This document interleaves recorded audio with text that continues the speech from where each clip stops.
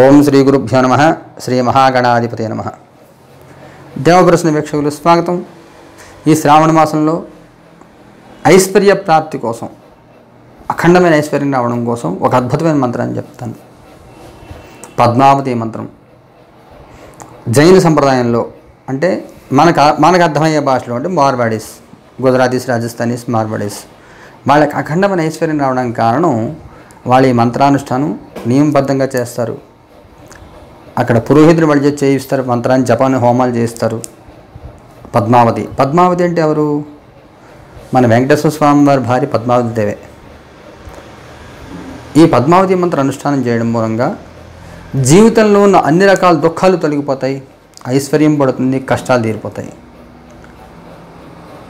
కోరిన కోరికలు నెరవేరుతాయి వివాహం అవుతుంది ఉద్యోగం వస్తుంది. ఒకటేమిటి? ఏదైనా వస్తుంది మీకు.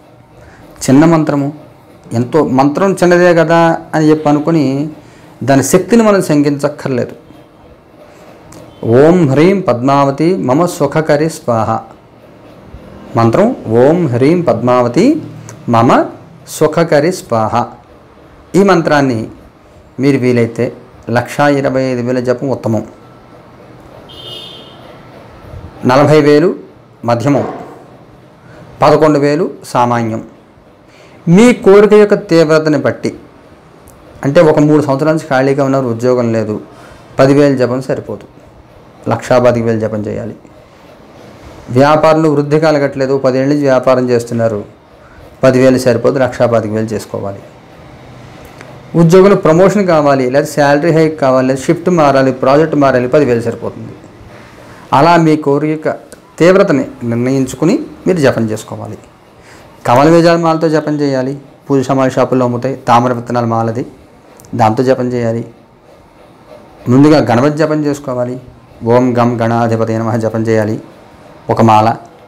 ఓం నమో నారాయణాయ. ఒక మాల జపం చేయాలి. తర్వాత ఈ పద్మావతి మంత్రాన్ని జపం చేసుకోవాలి. నియమబద్ధంగా జపం చేయాలి. మధుర పదార్థం నివేదన చేయాలి రోజు. లక్షాపతికి వేల జపం పూర్తయిన తర్వాత కమల బీజాలు ఎర్రటి పుష్పాలతో వీలైతే కలువ పువ్వులు గులాబీ పువ్వులు గన్నేరు పువ్వులు ఎర్ర గన్నేరు పువ్వులతో హోమం చేయాలి. చేస్తే పద్మావతి అనుగ్రహం వల్ల మీకు అఖండమైన ఐశ్వర్యం పడుతుంది.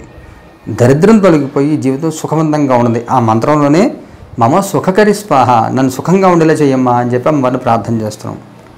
అందువల్ల ఈ పద్మావతి మంత్ర సాధన నిల్వ నెలలో చేయడం మూలంగా శ్రావణ మాసంలో అమ్మవారి అనుగ్రహం మూలంగా అఖండమైన ఐశ్వర్యం కలుగుతుంది. शुभम भूयात।